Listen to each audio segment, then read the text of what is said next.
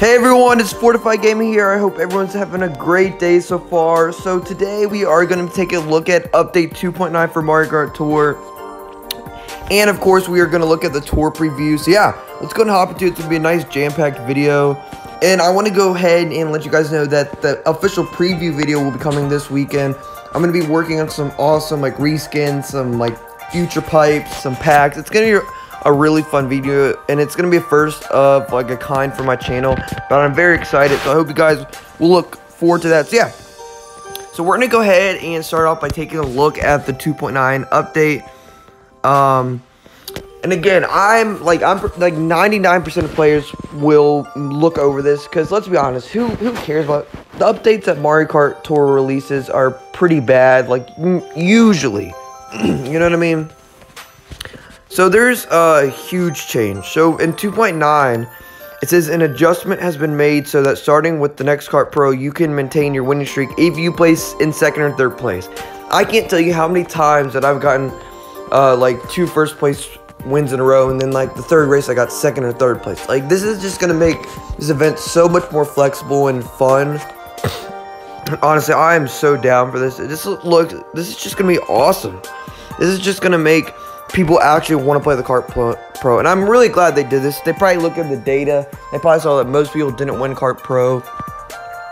But yeah, um, this is this is so good. This is just really good. I mean, Kart Pro should not have been that, that hard to begin with. You know what I mean? It should have been because Mario Kart Tour isn't supposed to be a hard, hard um game. You know what I mean? So yeah, I'm really down for this. Uh, I'm really excited. So yeah. So, and maybe the next Kart Pro will be in the next future tour. Uh, I don't know. so, then our next update is the race bounce adjustment. This doesn't really make sense to me, but it says the chance for opponents in a single player race to use the lightning or spiny shell items has been slightly decreased.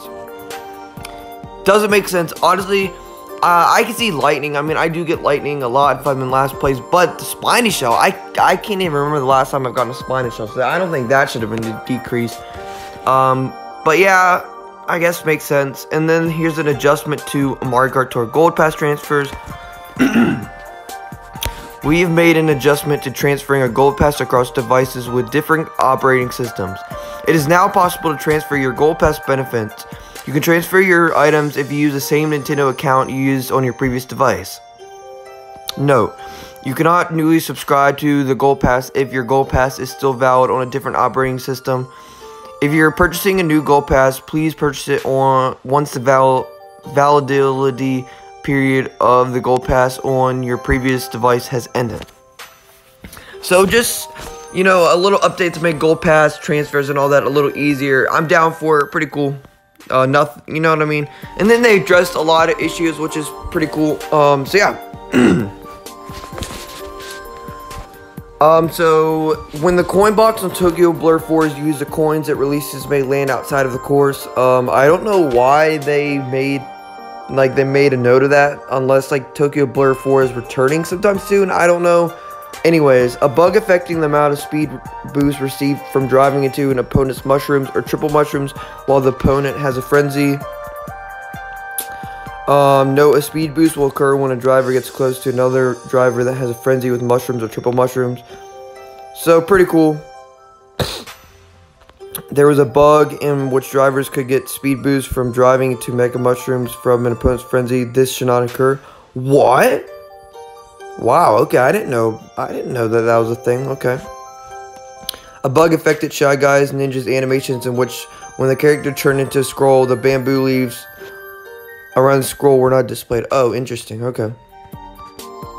When tapping the screen after a race to skip the results screen, the collection of Grand Stars or the new record that sometimes does not display correctly. And then uh, two more things. The game screen can freeze if the date in Mario Kart Tour changes while frequently asked questions, tips and tricks, or news is displayed. And then last thing, after the suspension period for Gold Pass subscription ends on an Android device, you may not, you may be unable to resubscribe.